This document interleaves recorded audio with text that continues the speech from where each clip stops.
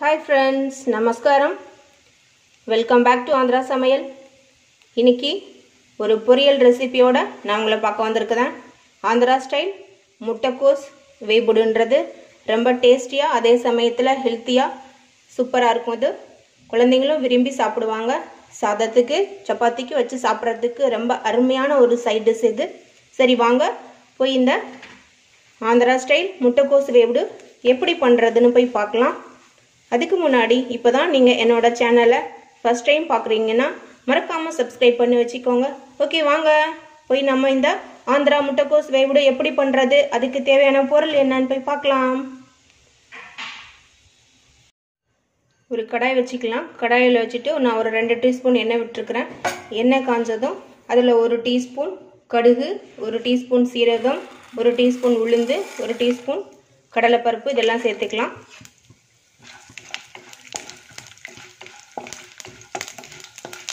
இது பொரிஞ்ச உடனே இதில் ஒரு வெங்காயம் சின்னதாக நடுக்கினி சேர்த்துக்கலாம். நான் கால் கிலோ முட்டைக்கோஸ் தான் எடுத்திருக்கிறேன். அதனால் வெங்காயம் வந்து ஒரு மீடியம் சைஸை விட கொஞ்சம் சின்னதாக இருக்கிறது தான் நான் எடுத்திருக்கிறேன். அதையும் இதோட சேர்த்துக்கலாம்.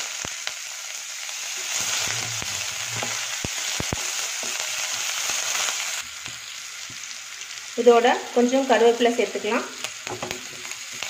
இது லேசாக கொஞ்சம் வதங்கினதுக்கப்புறம் நம்ம க்ளீன் பண்ணி வாஷ் பண்ணி வச்ச முட்டைக்கோஸ் ஆட் பண்ணிக்கணும் இதில். இந்த அளவுக்கு வதங்கினா போதும். நான் இப்போ நம்ம கட் பண்ணி பொடுசாக கட் பண்ணி வச்சுட்டு இந்த பாருங்கள் இந்த மாதிரி பொடுசாக கட் பண்ணி வச்சுருக்கிறேன் நான். க்ளீன் பண்ணி இதை நான் ஒரு கால் கிலோ எடுத்துருக்கிறேன் நான். அதையும் ஆட் பண்ணிக்கலாம்.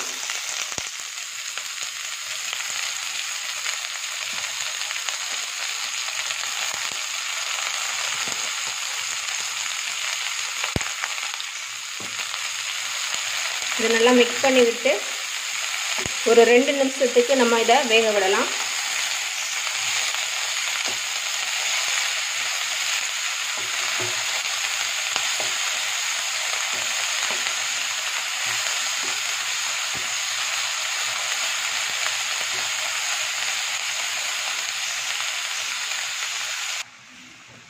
ரெண்டு நிமிஷம் நல்லா வதங்கிடுச்சு.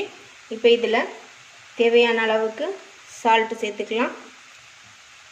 ஒரு கால் டீஸ்பூன் மஞ்சள் தூள் சேர்த்து நல்லா மிக்ஸ் பண்ணி விட்டு இது நல்லா குக் ஆகிற வரைக்கும் ஒரு லிட்டு வச்சு மூடி வச்சு நம்ம குக் பண்ணிக்கணும் இதில்.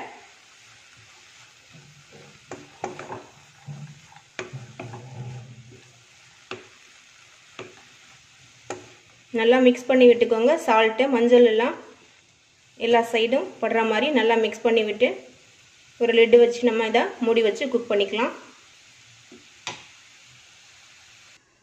முட்டைக்கோஸ் வேகிறதுக்குள்ளே அதுக்கு தேவையான மசாலா நம்ம கிரைண்ட் பண்ணிக்கலாம். மூணு பூண்டு நான் உரித்து வச்சுருக்கிறேன். நான் கால் கிலோ தான் எடுத்திருக்கிறேன். அதனால் மூணு எடுத்திருக்கிறேன். இதுவுமே மூணு பூண்டு. கொஞ்சம் பெரிய பல்லாக இருக்கிறதுனால மூணு எடுத்திருக்கிறேன். நீங்கள் சின்னதாக இருந்தால் நாலுலேருந்து அஞ்சு வரைக்கும் எடுத்துக்கலாம். அது மாதிரி மிளகாவும் இது கொஞ்சம் காரமாக இருக்கும். கொஞ்சம் நீளமாக இருக்கிற மிளகாயை விட இது கொஞ்சம் ஜாஸ்தி காரமாக இருக்கும். அதனால் மூணு எடுத்துருக்கிறேன். நீங்கள் உங்கள் காரத்துக்கு ஏற்றவாறு நீங்கள் எடுத்துக்கோங்க. இதோட கொஞ்சம் தேங்காய் இது சேர்த்துக்கலாம். தேங்காய் சேர்த்து இதை கொஞ்சம் குறை குறைப்பாக அரைச்சி எடுத்துக்கலாம்.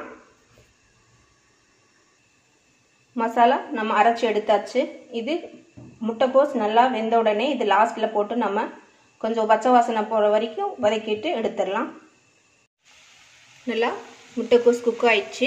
இப்போ இதில் நம்ம அரைச்சி வச்ச தேங்காய் இந்த இதை சேர்த்துக்கலாம்.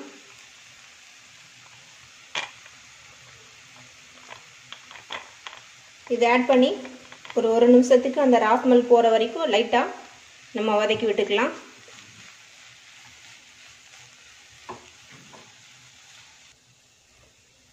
பாருங்கள் மிக்ஸ் பண்ணி விட்டாச்சு. நல்லா ராஸ்மலெல்லாம் போயிடுச்சு. நீங்கள் சால்ட் செக் பண்ணிக்கோங்க. தேவைப்பட்டால் போட்டுக்கோங்க. இல்லைன்னா வேண்டாம் விட்டுருங்க. அவ்வளோதான் நம்மளோட ஆந்திரா ஸ்டைல். முட்டைக்கோஸ் வெய்புடு ரெடி ஆயிடுச்சு.